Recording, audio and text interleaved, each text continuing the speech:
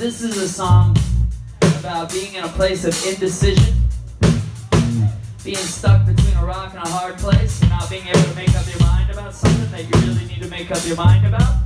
And so, in such a circumstance, maybe just taking a little bit of LSD to see what happens, see how you feel about the situation then, let that work it out. The song's called the Acid Test Song.